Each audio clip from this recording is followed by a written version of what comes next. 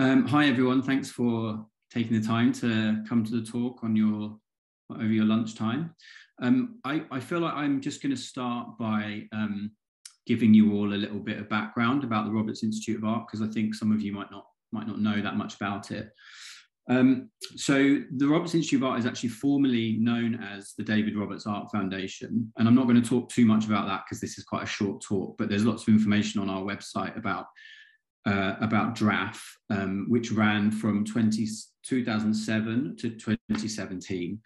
Um, and now we are the Roberts Institute of Art, um, and that we and along with that name change, we have a kind of slightly new direction and a new way of working. So the the collect the um, the foundation or the institute is, is actually based on or really was founded by David Roberts and his based on his collection. So he has a collection which is now called the David and Indra Roberts collection, which uh, has two and a half thousand works or almost two and a half thousand works by over 850 artists. So it's a significant private collection uh, based in the UK.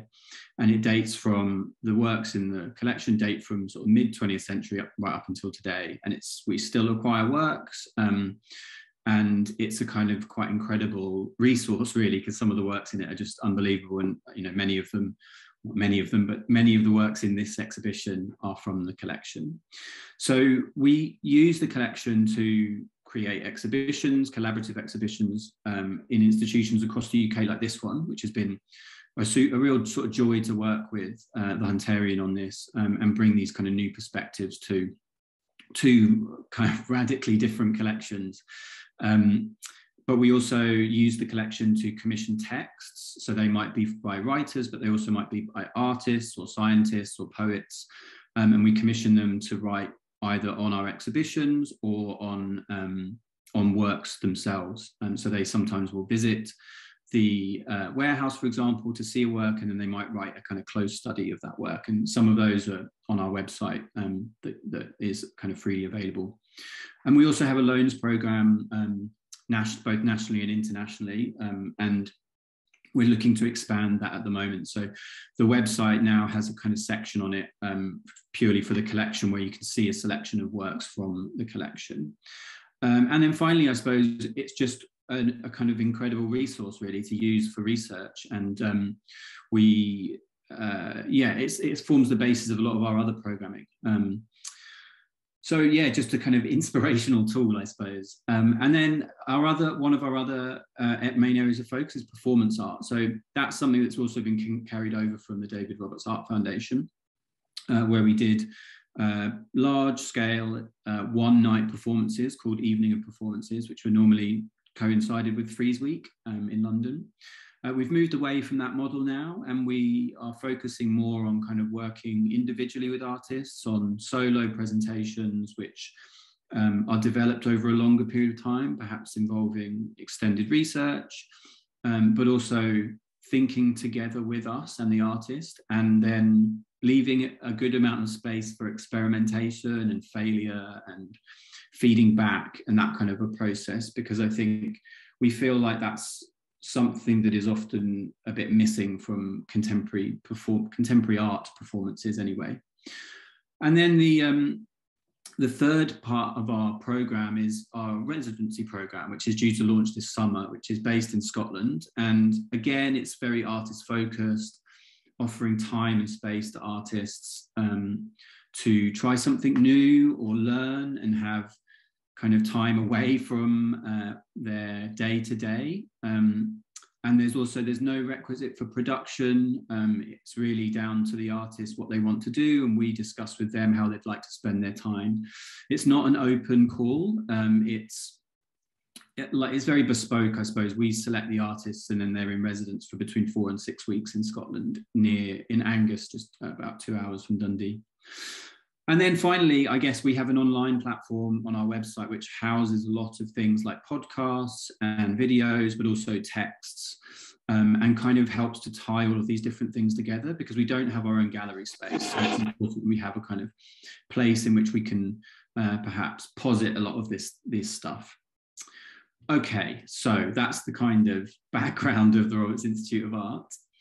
And I suppose I wanted to start this by just talking a little bit about um, some of the research that was very early on in Dominic and I's conversations. And um, I mean, this image here is a is is uh, a very early sketch of Darwin's Tree of Life, and I'm not going to say too much about that now, but hopefully it will kind of come back at the end when I when I finish. Um, so the first image I'm going to show you, this is a cave painting from the uh, from, from the Mirarr people in the Jabiluka uh, region of Kakadu National Park in the Northern Territory, Territories of Australia, which is happens to be just next to a uranium mine. And um, one of the things that Dominic and I talked about was this kind of uh, episode where just after the Fukushima disaster in Japan in 2010, a woman called Yvonne Margarula, who is uh, the traditional owner of the Mirarr people in the Northern Territories of Australia and a fierce environmentalist, um, wrote to Ban Ki moon to, uh, to um, kind of uh, state her state their solidarity with the Japanese people, but also to apologize effectively for the Fukushima disaster because some of the uranium in Fukushima was taken from their land, and they claim responsibility for anything that happens in their in their lands. And there is a there's a, a story from from their culture where if any rocks are moved from this part of their land in this uh, Kakadu National Park, a giant serpent will raise up and devour the earth. So there is a kind of long, deep knowledge of uh, the materials from this part of the world um, through the Mirarr people, and they uh, have warned and and have warned over generations not to disturb this part of the world. Um, and in fact, there's a there's a campaign still ongoing at the moment that they want to bring the uranium mine back into the ownership of the Mirarr people. Um, so I guess uh, th this this cave painting is one that is near the near the mine, and there are um, theories or suggestions that this is actually a painting of someone who has uh, who's had some sort of radiation poisoning um, due to the uranium that is in the in the land there. And you have these kind of strange uh, blobs or, or uh, distended limbs, which is kind of um, which is suggestive of radiation poisoning. Now, there's nothing that, that, that, that exists that can exactly prove that, but it is a theory.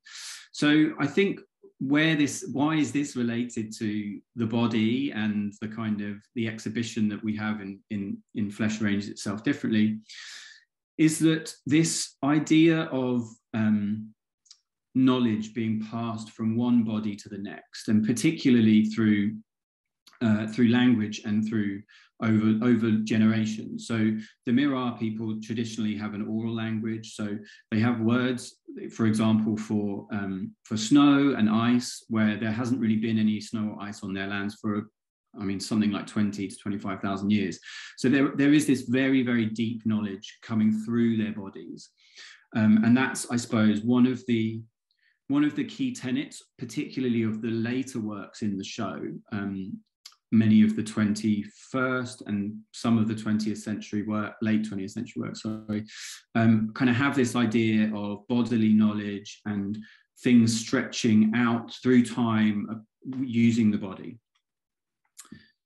So let's get into the work. So the first work I'm going to talk about is Danh Vo, which is this uh, pink uh, Andy Warhol print um, on the wall there. There it's seen in, in um, in the context of the exhibition.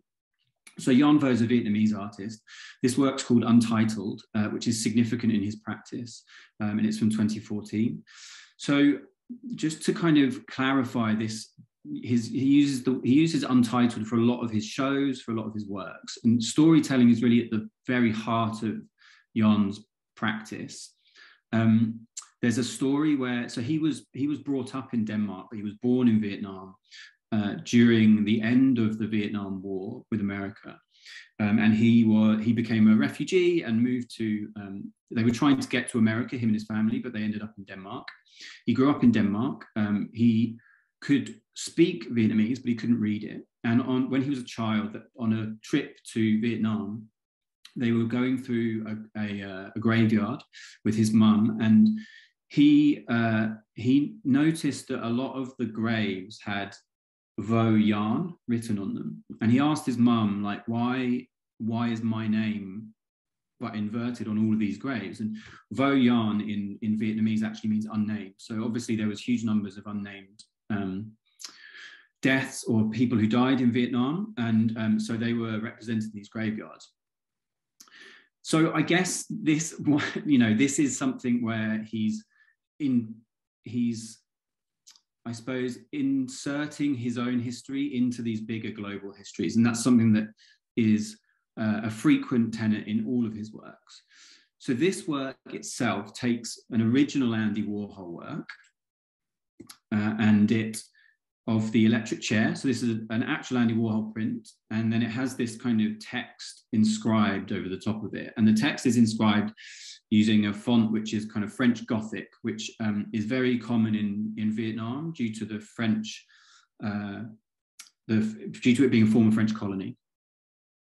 So obviously, um, Andy Warhol, the kind of king of worshipping 20th century consumer culture, particularly Western consumer culture, and also, I guess, celebrity and death. And all of these things come through in this work. And I think the reason that Danh, one of the reasons Danh Vo is interested in it is because he was, I guess, a quote unquote foreigner in Denmark when he was growing up, and but was obviously being introduced to huge amounts of American culture um, as you know, as happened in Europe, we we we got lots of American television, lots of American popular culture, and I think all of work, all of Andy Warhol's work, in, in one way or another, ends up being about death and celebrity.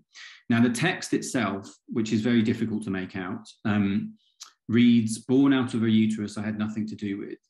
So within this, he's I think he's bringing us back to his body and his experience of life um, and the toll that the American American imperialism's had it not only through the American War, American Vietnam Vietnamese War, but also through this him having to grow up in a American-led culture of you know European American-led culture.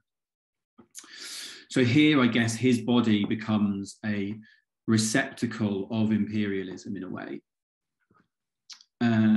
So next I'm talking about this uh, sculpture, which is um, called Hours, working title, Analog Series Tongue, and it's from 2013. It's by the artist Michael Dean. Um, Michael Dean's work, I guess, begins uh, with his own writing often. Um, and he then sort of abstracts these texts into sculptures and immersive installations that explore language, uh, they explore the body, but particularly he's very interested in intimacy. And this series, I think, reflects this kind of, with its very long and awkward title, um, you know, hours, and then in parentheses, working title, comma, analog series, and then in parentheses, tongue. It's quite a kind of uh, it's a mouthful, I guess, um, no pun intended. But I guess it, I think he's really interested in the kind of um, fallibility of communication or the fallibility of language in particular. And, you know, here he's really combining this by having the kind of very, the physicality of the tongue. And, I'm, and hopefully some of you have been to the show, but the, this sculpture, it really does feel like a tongue. You know, it, it, even though it's solid concrete, it's sort of flopping over this, this plinth. And it looks like if you picked it up, it would kind of sag. Um, with the kind of heaviness of concrete, I guess. It's a very, um, there's a kind of slight dissonance that happens when you're looking at it. And I suppose one of the things that interested Dominic and I about this was, was this engagement with language and the body and how the body is the sort of conduit for language, despite the fact that it's often written down. That's very different to the way language feels and the way language sounds and how the different elements, depending on who's speaking what language. And, you know, I think one thing that I love about this is it, it very simply reveals this just by create, you know, by uh, very profoundly presenting the physicality of the tongue, which is something that despite being a kind of real engine of expression, um, is something that we very rarely see. You know, it's something that we only really feel, whether it's ours or someone else's. You know, we taste with it, we kiss with it, and we speak with it. It's this kind of fundamental um, part of our body that is that's very rarely seen, but is but is in, in is intrinsic to our communication with the outside world, but also I think bringing the world into us, like I said, through through tasting or even through like kissing your lover or whatever it is. And that's just it in context as well. So you can see it here next to some Michael E. Smith work. This is the uh, Horst Ademeit work, which I'm going to be talking about later. And this is the Yayoi Kusama, which I'll also talk about.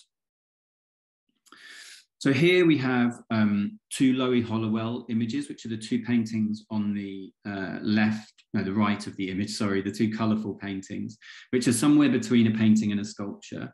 And I have uh, some closer up images of these, so don't worry, because it's, it's a little bit difficult to see them in that one. So this first one is, but actually, I wonder if I can just zoom in to this a little bit to see if we can, yeah. So there, hopefully you can see that they're actually three dimensional.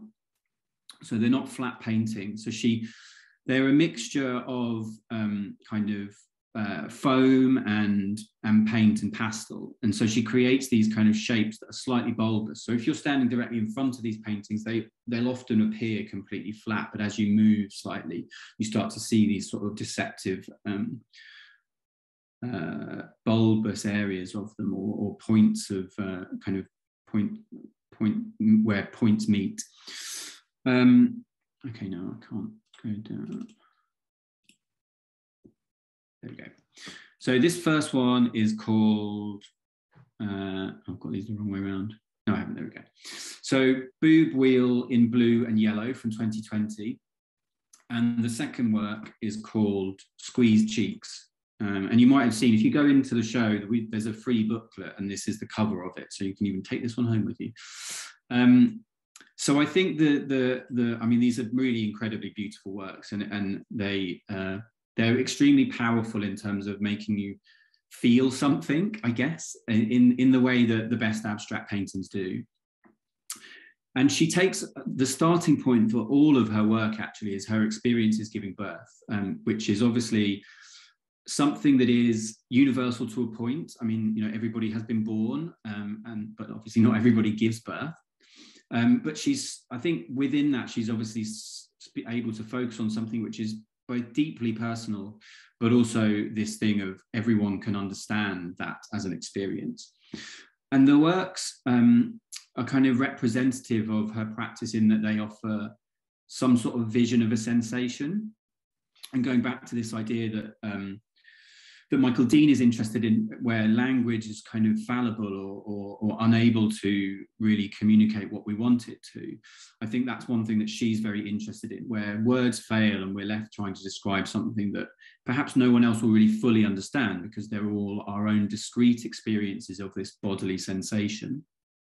I think, you know, bringing this into this show, bringing these works into this show, I think is really um, challenging a lot of the ideas of the Enlightenment and, and where the Hunterian uh, collection was founded from in terms of medicine has really since its inception or western medicine since its inception has kind of just tried to describe bodily sensations and to categorize and homogenize things like pain or soreness or stinging or aching and ultimately that they're very different to everyone. And and you know it's very difficult to accurately describe what something feels like. I mean i have uh, you know from my own personal experience i have i remember there's there's a dream that i have every time i have a fever. And it's very specific. Like there's no real visuals it just it's like it's just like the only thing i can describe it is, is like a throbbing about like but my whole being the whole being the whole dream is just a throbbing. There's nothing visual i could describe. And you know things like that that's a very inadequate way for me to describe to describe that everyone someone else to actually understand it. So i think you know with these works that's what she's trying to get at. And, and for me personally i think you know particularly with this one squeeze cheeks I can sort of feel a sensation of squeezing and a point of release with that line and the dot, which I think you know, it's, it's very visceral, which I think is um, one of the incredibly, uh, one of the amazing things about her work, really. Um, so then we have Yayoi Kusama. And I think one of the interesting things about Kusama, I guess, is that, you know, despite all the kind of marketing hullabaloo that happens with her mirror rooms and um, and various other works that you see at places like Tate, I think you know the the work is really deeply rooted in a kind of psychological trauma that she has from a very young age. I mean, she's uh, she's in her mid mid to late 90s now. She's lived voluntarily in a psychi- psychiatric hospital for the last 44 years, where she still makes work with her studio. But you know, and I think these um, the dots for her that are a recurring theme in her work, whether that's through the mirror rooms or through these kind of paintings or through her pumpkins, um, are a kind of way for her to externalize a neurosis or an obsessiveness.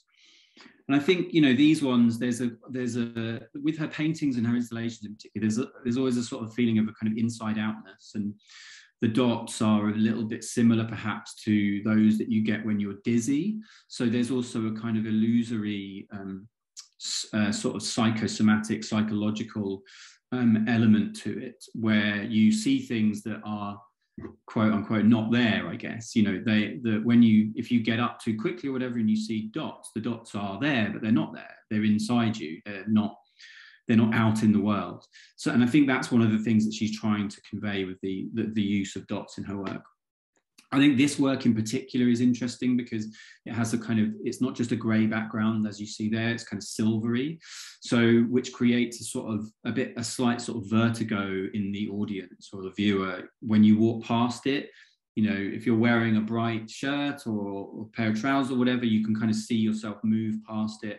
Or as you walk around the space, different things get reflected in it, which just has this sort of like slightly um, I suppose, unsettling sensation if you're really fixed on it. And that's just a slightly closer up picture of it. Um, so here we are going to talk about these Polaroids on the right-hand side of the picture. Um, so this is work by Horst Ademeit, who these are basically called, uh, well, these are a very small selection of observation photos that he made between 1992 and 2004. During that period, he made uh, somewhere in the region, probably more than 6,000 of these. Um, and they were images that he took of um, what he described as cold rays. So he believed that um, there was a unnamed organization in the world um, that was out to get him and the rest of the world. And they were doing this through the use of cold rays. He believed that the cold rays were responsible for the lowering of temperature, interfering with brain waves, electrical currents, jamming the signal of his radio. I mean, even turning bottles of sour wine, uh, sorry, turning bottles of wine sour. Um, but they also, you know, penetrated him and his body and his flat and essentially, these were this was a kind of paranoid construction in, in his mind. I think what's interesting about Horst Ademeit is that he uh, he actually studied art under Joseph Beuys in the 1970s. So these representations are, whilst they're not necessarily artworks, they are coming from someone who has been trained in art. So he has a, a certain aesthetic, I suppose, a certain sensibility to aesthetics.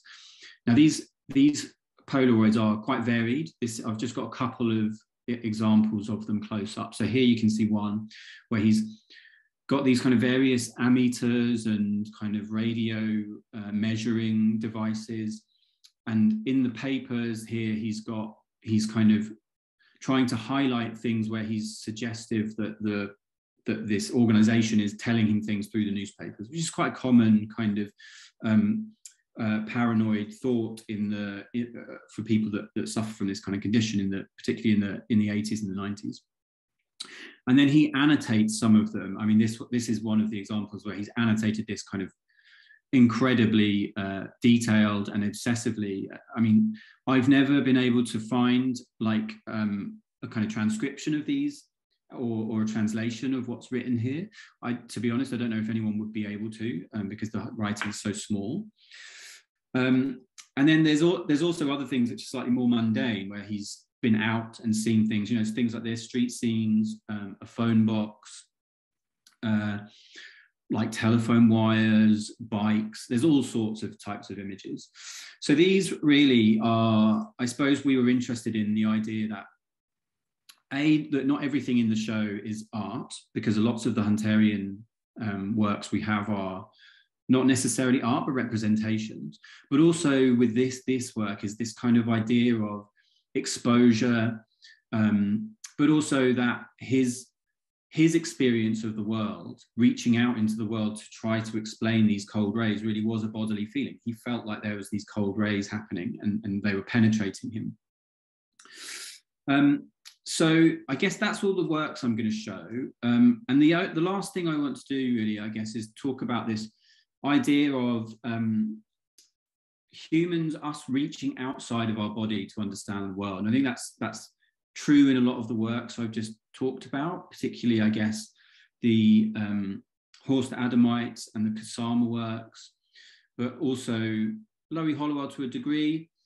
And I think there's a so there's a, there's a a Platonian um, idea that humans are all celestial plants. He, he describes us as, um, which is why I'm going back to now the um, image of Darwin's Tree of Life which is here. So, I mean, in this kind of beautiful idea of us being celestial plants, he's talking about basically, he describes us as upside down plants with roots that stretch out into the cosmos from our through our imagination. Um, and in Michael Marder's book, The Philosopher's Plant, an Intellectual Her Herbarium, he describes it as as heavenly plants hung from the edict sphere by invisible roots, converging on human minds, humans became like puppets that move a sense of purpose when guided by the rational demon, or, which is the capacity for reason.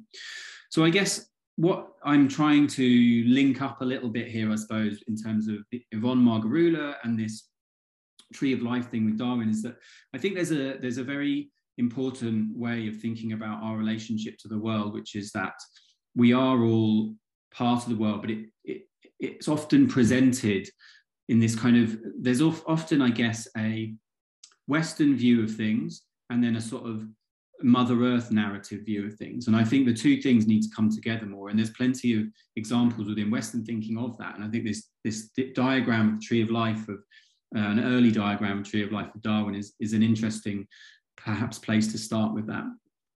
So yeah if anyone's got any questions happy to talk a little more. Thanks